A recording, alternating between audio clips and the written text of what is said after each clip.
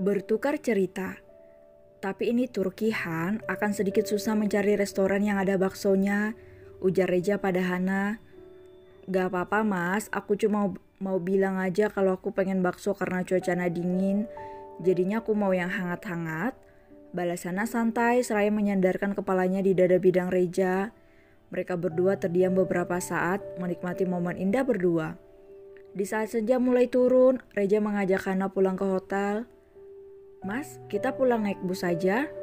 Terus saat tiba di halte dekat hotel kita jalan kaki aja pasti seru mas, kayak di drama Korea. Ajak Hana dengan wajah berbinar membuat Reja menautkan alisnya. Kamu suka nonton drama Korea? Tanya Reja heran karena setaunya anak-anak pesantren. Suka mas. Tapi kan kamu anak pesantren Han. Tukas Reja bingung. Saat Hana ingin menjawab bus berhenti di depan mereka. Keduanya pun masuk ke dalam bus dan duduk di kursi penumpang yang berdampingan. Aku suka dramanya, Mas, bukan artisnya. Karena di drama Korea aku bisa tahu banyak permasalahan masyarakat yang tidak aku ketahui. Contohnya pembulian, penegakan hukum yang menyeleweng dari kewajibannya dan cinta beda kasta. Tiga permasalahan itu sering kita temui di zaman sekarang. Di mana pembulian terjadi karena tiga hal, yaitu tidak good looking, miskin, dan bodoh Penegak hukum yang menyeleweng juga nyata.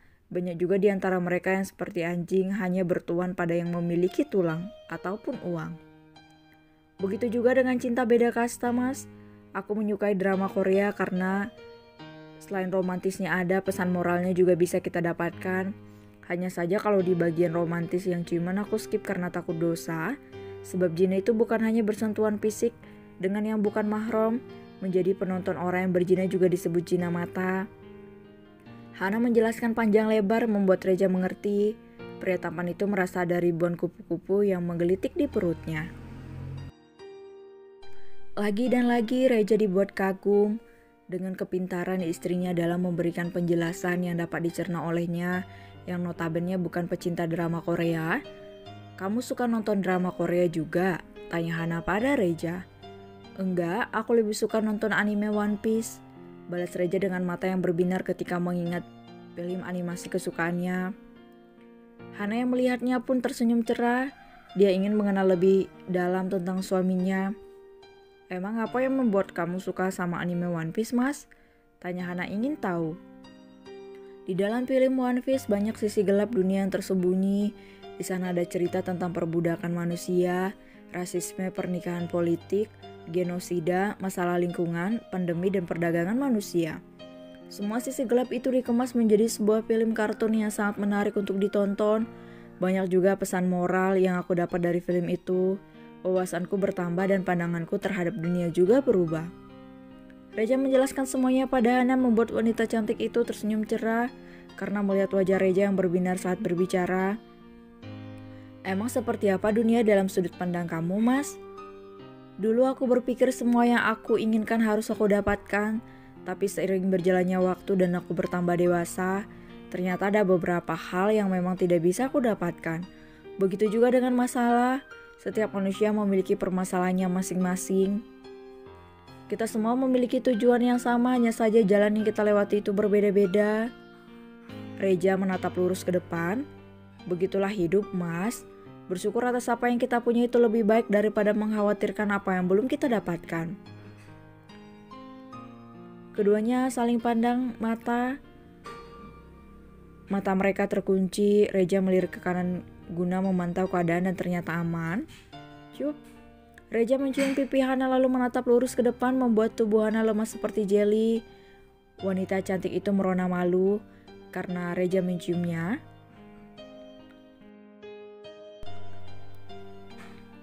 Mereka tak sadar bahwa bus sedari tadi telah berhenti dan semua penumpang telah turun. Tuan dan Nona, apa kalian tidak ingin turun? Tanya supir bus membuat keduanya terkejut. Hana menjauhkan wajahnya dengan wajah Reja membuat mereka berdua segera turun dari bus setelah Reja membayarnya. Hana menggenggam tangan Reja erat. mas, jerit Hana. Di begal, Reja terkejut saat istrinya tiba-tiba ditarik paksa oleh dua pria asing. Salah satu dari mereka menodongkan senjata tajam ke leher Hana. Mas, aku takut. Hana meneteskan air matanya ketakutan saat pria itu menekan senjata ke lehernya. Dia merasa bersalah karena telah mengajak Reja pulang naik bus dan jalan kaki ke hotel. Tempat mereka berada saat ini sangatlah sepi, hanya ada mereka saja di sana. Apa yang kalian lakukan? Lepaskan istriku. Bentak Reja marah. Pria tampan itu marah saat istrinya disakiti, apalagi pria asing itu memeluk Hana dari belakang. Aku akan lepaskan istrimu kalau kamu berikan kami uang banyak. Pria asing itu berbicara bahasa Inggris. Reja tahu bahwa dua pria itu bukanlah penduduk lokal. Apalagi terlihat raut wajah keduanya menunjukkan ketakutan dan kegugupan. Reja menatap wajah Hana yang memerah karena menangis dan takut. Istrinya itu menatapnya penuh harap. Untung saja Hana memakai hijab sehingga senjata tajam tidak langsung menyentuh kulit leher istrinya. Hana jangan panik, sekarang kamu ikuti saranku. Kamu sikut pria itu dengan siku lenganmu, dia pasti akan kesakitan dan melepaskanmu. Lalu kamu lari ke arahku. Ujar Reja menggunakan bahasa Indonesia pada Hana. Dua pria asing itu tak tahu apa yang telah Reja katakan pada Hana. Hei, apa yang kalian bicarakan? Jangan macam-macam. Cepat berikan uang kalian atau aku akan membunuh wanita ini. Sentak pria itu membuat Reja mengepalkan tangannya erat. Berani sekali pria itu melukai Hana. Bahkan Reja saja tak pernah menyakiti Hana secara fisik. Mas, aku takut. Hana menangis membuat Reja tak tega. Lakukan apa yang aku katakan tadi, percaya padaku sayang. Ujar Reja lembut memanggil Hana sayang untuk pertama kalinya. Hei, sekarang tegas Reja.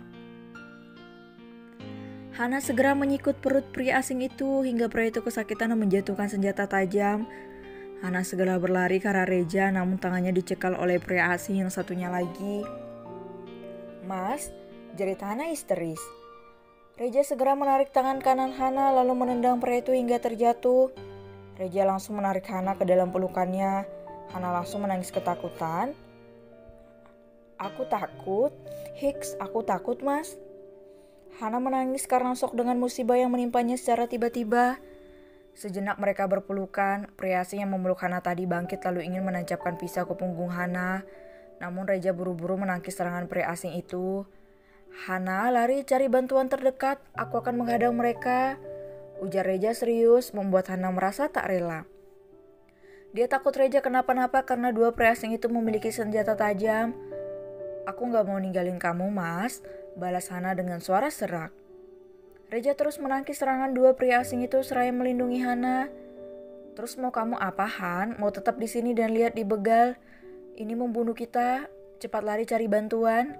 Sentak Reja kesal karena Hana tak mau mendengarkan perintahnya. Ingat Han, kita ke Turki buat honeymoon agar waktu pulang bawa calon anak bukan pulang tinggal nama. Tambah Reja membuat Hana tersadar. Baik, aku akan lari. Pokoknya kamu harus menang lawan mereka, mas. Aku gak mau pulang dari Turki jadi janda mati. Balas Hana seraya mengucup pipi Reja. Mau tak mau wanita cantik itu harus pergi berlari untuk mencari bantuan. Jangan lupa telepon 911 dulu. Teriak Reja pada Hana yang sudah lari. Pulsaku habis, mas.